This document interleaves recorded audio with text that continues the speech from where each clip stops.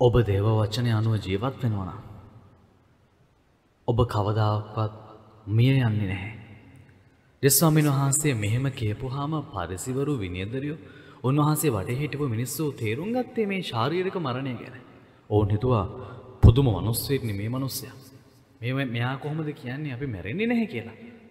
අපි දැක්කා මෙච්චර දෙවන් වහන්සේ අදහගත්තු මිනිස්සු මැරුණු විදිය අපි දැක් අපි අහලා තිනවා ආබ්‍රහම්තුමා දෙවන් වහන්සේගේ මෙච්චර වරප්‍රසාදය ප්‍රසාදය ලැබුණු කෙනෙක් නමුත් ඔහුත් මැරුණා. එහෙනම් කොහොමද මේ ජේසුකින්න මනුස්සය කියන්නේ දෙවන් වහන්සේ වදහනවනම් උන්වහන්සේගේ වචනය පිළිගන්නවනම් මිනිස්සු මැරෙන්නේ නැහැ කියලා.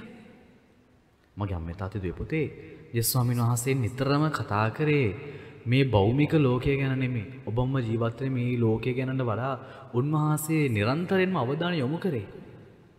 තාවකාලික මේ ලෝකින් පස්සේ ඔබට මට හිමි වෙන ස්වර්ගිය ජීවිතය ගැන ඒ ස්වර්ග රාජ්‍ය ගැන එනිසා උන්වහන්සේ කියනවා දේව වචනය පිළිපද දෙවන් වහන්සේ අදහන්න අය මැරෙන්නේ නැහැ කියලා.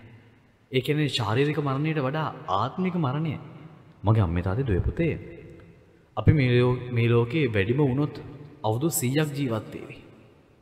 හැබැයි ඒස් මේ ලෝකෙ ජීවත්වෙන අවුරුදු සියයට වඩා කොයිතරම් වටිනවද. ස්වර්ග රාජ්‍යයේ සීමාවක් නැතුව අපට ජීවත්වෙන් ලැබෙන ඒ කාල පරාසය.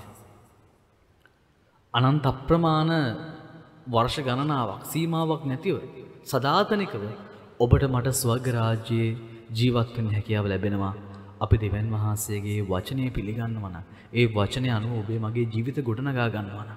එහෙනම් මේ ලෝකේ මැරෙන්න බයි මේ ලෝකයේ ආසාවන් මේ ලෝකයේ අපේ අභිමතාර්ථයන් නිෂ්ට කරගන්න. පවපයේ ක්‍රියාවන්වල නිරත වෙලා අපි ස්වර්ගරාජ්‍ය බිල්ලට දෙන්නේ ඇයි.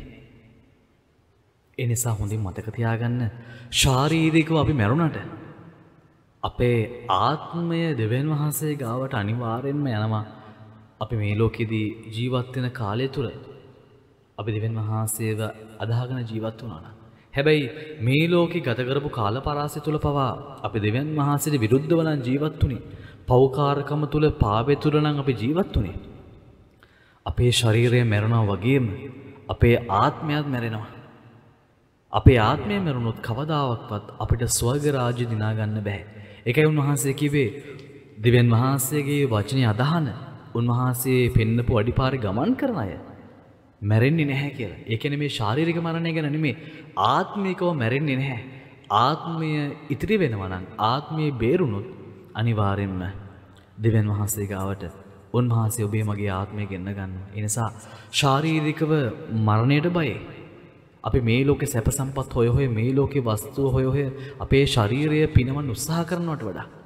ශරීරයේ මැරුණත් ආත්මය විනාස නොවී රැකගන්න පුළුවන් දෙවන් වහන්සේ කරේ විශ්වාස කරමින්. ඒ ආත්මය පිරිසිදුව උන්වහන්සේ අපි ඔප්පු කරන්නට සෝදානම් වෙමු. ඔබට ජෙස් පිහිටයි.